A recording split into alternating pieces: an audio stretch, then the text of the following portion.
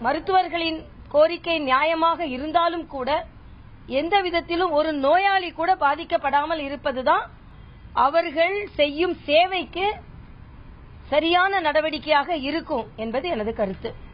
ஆனா தமிழகத்துல யாராவது போராட்டம் நடத்தினா உடனே அவருக்கு என்ன நடக்குதுன்னே தெரியாம காலையில திராவிட முன்னேற்ற கழகத்தின் தலைவர் ஸ்டாலின் நாம் தமிழர் அவரு வேற கம்யூனிஸ்ட் கேட்கவே வேண்டாம் நடத்துறது பின்னால இருந்து எங்க ஒழுங்கா எது நடந்து கொண்டிருந்தாலும் அதை நிறுத்தப்பட்டால் பின்னால் அவங்க தான் இருப்பாங்க.